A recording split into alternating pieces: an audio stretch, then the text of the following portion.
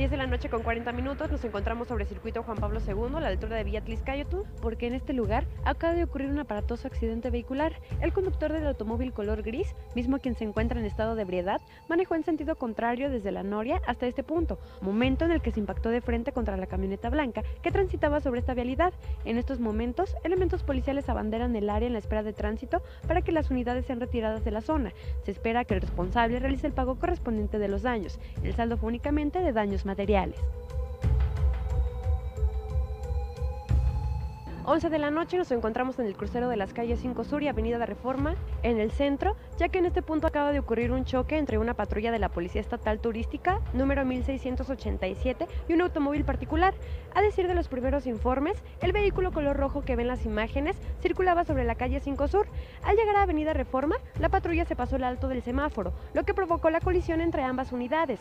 La patrulla salió proyectada contra un volardo ubicado en la esquina y lo derribó. Paramédicos de Suma en estos momentos brindan atención médica al conductor del automóvil particular, ya que resultó levemente lesionado. Se espera que elementos de servicios periciales realicen lo correspondiente para delegar responsabilidades. 12 de la noche con 30 minutos nos encontramos en el crucero de las calles 17 Norte y 16 Poniente, porque en este lugar acaba de ocurrir un aparatoso accidente vehicular.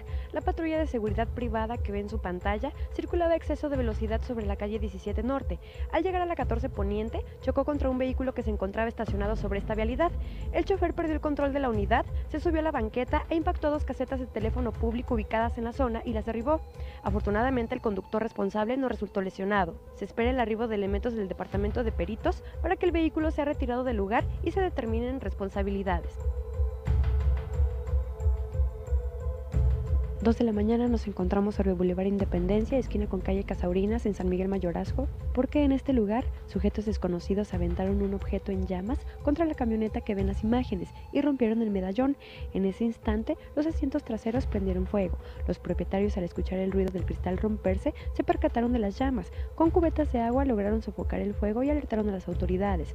Elementos policiales toman conocimiento de los hechos, mientras que personal de bomberos de Puebla realiza la mitigación de riesgos. Hasta el momento, se desconoce el paradero de los responsables y el móvil de los hechos. En el lugar también ocurrió una riña entre vecinos. Dos personas en estado de ebriedad agredieron a los propietarios del vehículo afectado, se calentaron los ánimos y comenzaron los golpes. Los uniformados intervienen para calmar la tensión. Juan Carlos, amigos del auditorio, estos fueron los acontecimientos más relevantes esta noche madrugada en Puebla. Con imágenes de Fernando Cano, hoy nos despedimos desde el Jardín del Arte, deseándole un excelente día.